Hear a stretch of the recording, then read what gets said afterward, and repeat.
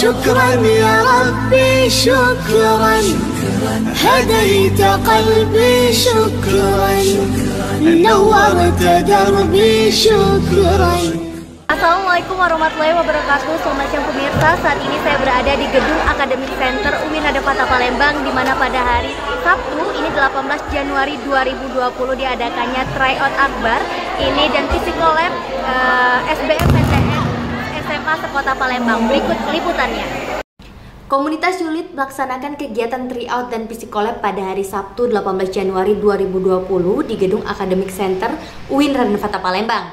Acara ini dihadiri oleh Nilawati SAGM Hum, Wakil Dekan 3 Fakultas Ekonomi dan Bisnis Islam UIN Ranafata Palembang, Hendy Setiawan Ketua Umum Yulit Wilayah Palembang, dan juga Heri Utama Putra, Manajer Bakti Nusa Wilayah Palembang.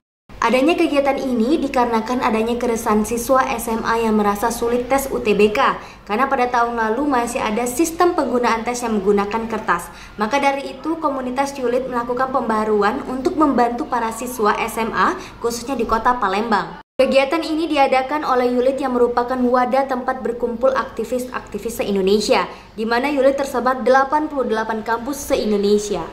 Menurut Hendy Setiawan, selaku Ketua Umum Yulit Wilayah Palembang, tryout akbar ini tidak dipungut biaya. Yulit, Yulit yang leader artinya pemimpin muda. Jadi Yulit adalah suatu wadah yang terkumpul ataupun tempat berkumpulnya aktivis-aktivis se-Indonesia. Dan dalam hal ini Sumsel adalah aktivis terbaik se-Sumsel.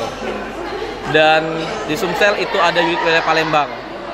Yulit tersebar di 88 kampus se-Indonesia. Sebelum itu ya kita meyakini bahwa gerakan kita hari ini adalah pure gerakan kebermanfaatan. Kita sama-sama berkoordinasi untuk kemudian memperpanjang rantai kebermanfaatan itu. Masalah dana kami ikhtiarkan baik itu dari media partner, sponsor sponsorship yang kami dapati salah satunya itu Smart Friend. Smart Friend dan juga karena Yulit adalah di bawah nama Dompet Duafa, artinya ini adalah dana zakat yang, yang kita gunakan. Sekitar 680 peserta mendaftar diri untuk mengikuti kegiatan ini yang dapat mendaftar secara online maupun langsung di tempat kegiatan. Soal ujian tryout ini terbagi menjadi dua yaitu Soshum IPS dan Saintex IPA. Menurut Ketua Pelaksana Beni Sultan, Yulit Wilayah Palembang bekerja sama dengan Pusat Kajian Ekonomi Islam atau PAKIS dan juga bekerja sama dengan bimbingan konseling FKIP Universitas Sriwijaya. Cek. Salah satunya dari pusat kajian ekonomi. Korisinya tolong tolong ya. Magdis ini salah satu dari uh, tuan rumah. Kemudian kita juga bekerja sama dengan bimbingan konseling FKIP Universitas Sriwijaya. Yang pakai kursi tolong itu. Bahkan kepada hasil dari kepribadian yang telah didapatkan oleh siswa-siswa. Jadi selain itu juga berbagai media partner salah dapat duit. apresiasi dari panitia tentu ini adalah ada. prestasi tertinggi. Silakan kali-kali Uh, selain dari itu kita bentuk apresiasi dalam bentuk fisik kita memberikan suatu uh, sebuah penghargaan Diberitahukan kepada saudara di Pemestum kepada untuk segala membayar hutang. dengan adanya audisi bisa memacu motivasi mereka untuk berkembang dan Artika Wulandari siswi SMA Negeri Sumatera Selatan peraih nilai tertinggi untuk bidang IPA tidak menyangka karena mendapatkan nilai tinggi pada tryout pertamanya. Sedangkan Tasya Gita, siswi SMA Negeri Sumatera Selatan peraih nilai tertinggi untuk bidang IPS merasa sangat senang. Ia mengatakan kegiatan tryout yang dilakukan oleh Yulit sangat bagus karena siswi tidak perlu membayar dan fasilitas yang diberikan pun sangat baik mulai dari mendapatkan snacks sampai mendapatkan konsultasi untuk masuk ke jurusan dan universitas yang diimpikan.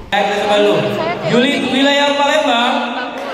soalnya kan juga nggak perlu bayar uang terus fasilitasnya juga cukup udah yang terakhir, jadi uh, baik tryout akbar 2020 uh, hashtagnya pacak kuliah. bisa ikut Oke, mungkin bisa dites dulu dari Palembang. fasilitasnya tuh lengkap kayak kami juga kaget tadi ternyata kami bakal dapat Eh, cek sound, cek sound, cek sound. dan keren Ini ya.